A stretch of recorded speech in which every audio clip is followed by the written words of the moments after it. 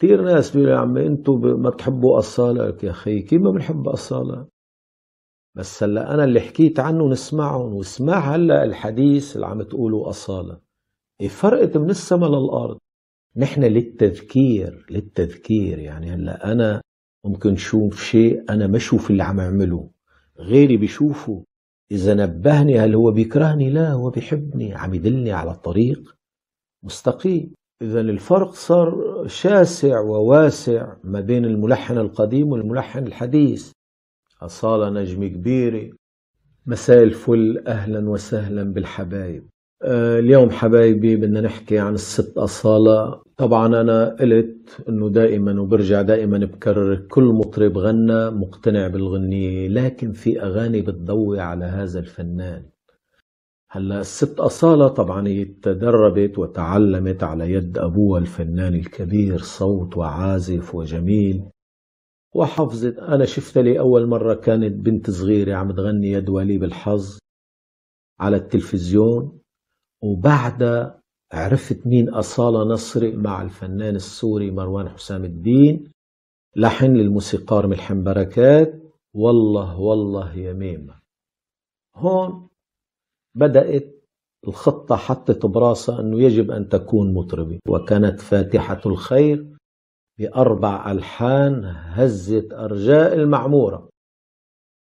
لحن كثير جميل لو تعرفوا للموسيقار الله يرحمه السيد مكاوي. واللحن الثاني للموسيقار أيضا الكبير الأستاذ محمد الموجي هي هات قلبي وروح. آه بعد في لحن اللي هو اللي ظهر أكثر واللي حبيته الناس أكثر أحيانا الكلمة لها تأثير كتير. هي سمحتك سمحتك. أو كان أنا بنظري مع حبي لهدول اللي عم نعدهم كان محمد سلطان موفق في كبح الجماح عن صوت أصالة. قدر يحبس لها صوتها بهالمزورات الحلوة اللي أخرجت سمحتك سمحتك. تسمع الغناء الجميل. أيضا الموسيقار حلمي بكر يا صبريانا كمان لحن جميل جدا جدا جدا. في لحن أنا كتير بيعجبني من أصالة بيريحني بحبه كتير وعم بتغني حلو. هو للأستاذ الفنان العربي السعودي عبادي الجوهر اللي هو قد الحروف. قد الحروف كذلك الأمر لحن بنحطه بمصاف هدول الكبار. إذا الخمس ألحان اللي عديناهم هدول هدول الفنان الملحن الكبير. انت وعم تحكي بيعرفوا صوتك وين بيطوي. يعني نحن ليش قلنا إنه الموسيقار محمد سلطان قدر يكبح جماح مثل فرس؟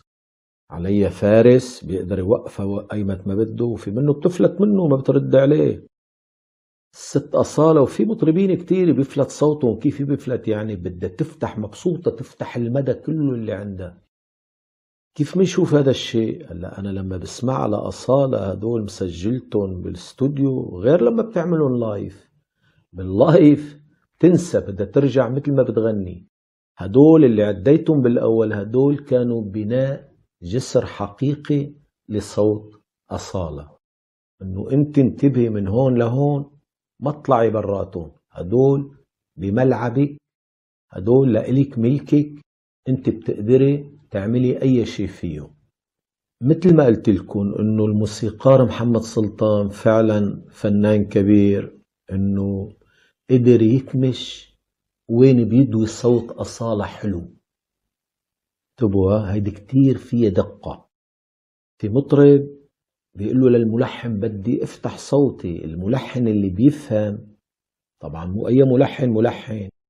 هدول العظماء انت وعم تهمس وين في جمال بيلقطك محمد سلطان أثبت وأنا أحترم كثير هذا الفنان الكبير لأنه من خلال أعماله لهاني شاكر أجمل ما غنى هاني شاكر إني الحان محمد سلطان. كذلك أصالة بدي اعتذر منها يعني مهما غنيت اللي قدر يعطيها وصوتها مريح ويدخل القلب هي مع محمد سلطان. وكتير ناس بشوف أنا من اللي بيحبوا الست أصالة يعني بيحبوها بهالطريقة هي بس تطلع فوق. هذا رأي وذوق الناس كمان نحن مع كل الناس ما ضد حدا. يعني في أغاني أنا بشيلها لأصالة فيها انضباط صوت بقدر اعتز فيها وانطرب عليها وفي مطربين كل شيء غنوا بعتز فيني. وفي مطربين نص أغاني بدك تكبهم بالبحر. يعني تشوف وكله توفيق كله توفيق كله توفيق. هلا في لحن غناه المرحوم مصطفى نصري أبوه لأصالة يعني أنا بعتبره من لون بلدنا من لون دمشق. يا خالي كأنك شاعر توصفني من راسي لخلخالي. أرادت أصالة حبيبة أبوها اللي كل عمرها بتذكره قالوا اللي بيحب أبوه وأمه عظيم أنا بنظري. فكذلك الأمر غنيتها سجلتها كثير متوفقت فيها. طبعا قبل ما أقفل عن الموضوع كثير ناس بيقولوا يا عمي أنتم ما بتحبوا أصالة؟ يا أخي كيف ما بنحب أصالة؟ بس هلأ أنا اللي حكيت عنه نسمعهم واسمع هلأ الحديث اللي عم تقولوا أصالة. إيه فرقت من السما للأرض. نحن للتذكير للتذكير. يعني هلا أنا ممكن شوف شيء أنا ما أشوف اللي عم أعمله. غيري بيشوفه. إذا نبهني هل هو بيكرهني؟ لا هو بيحبني. عم يدلني على الطريق. مستقيم. إذا الفرق صار شاسع وواسع ما بين الملحن القديم والملحن الحديث. ممكن هلا الملحن الحديث أصالة نجمة كبيرة. دخيلك إيه؟ كيف بدك لا أعمل لك اللحن. هيك بدك خلص اعملي هيك. الملحن الخطير القديم هو اللي بيطيع الصوت. هيك أنت لازم تقول هون لازم تعمل.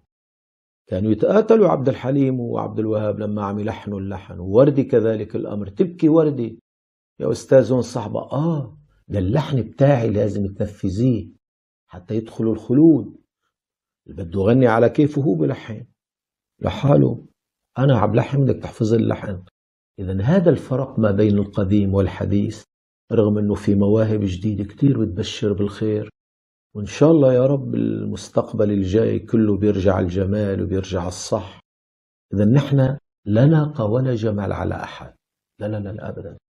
أصالة أنا إذا حبيتها أو ما حبيتها شو شو فرقت معي يعني؟ زاد محب أو نقص محب؟ لا. نحن عم نحكي علم موسيقي ويمكن تسمع أصالة تقول مزبوط أنا هون مغناي غيرهم. وتشكرنا بينه وبين ذاتها. بعدين أنت إذا بتحب واحد دله على عيوبه بينبسط. وإذا أحببت إنسانة على على مزاياها هذا ليس حبا. حبه على عيوبه الحب الحقيقي فرجي لك يا حبيبي بينبسط. وبالأخير الهداية مو أنا اللي بهدي لا تهدي من أحببت إن الله يهدي من يشاء. حبايبي أنا بتشكركم كثير وشكرا لذوقكم وبتمنى تسمعوا ما بين القديم والحديث. ترجعوا على كلامي. لكم كل الحب وشكرا.